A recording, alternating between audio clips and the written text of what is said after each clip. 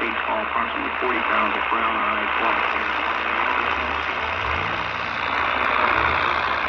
Was last seen on January 29th.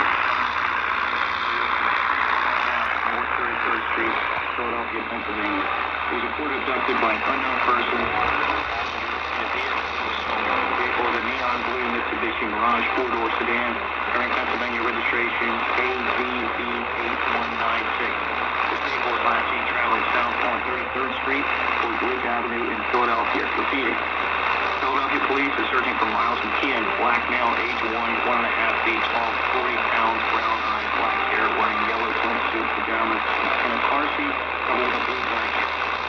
Seen on January 29th, 11 p.m. in the area of the 2400 block of North 33rd Street Philadelphia, Pennsylvania. It was reported abducted by an unknown person while a vehicle was stolen.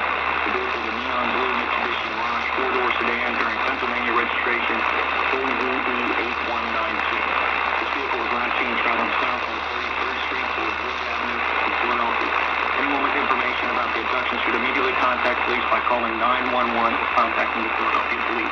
For more information, go to www.amber.pa.gov. This has been an Amber Child Abduction Alert for the Philadelphia Police Department, Philadelphia.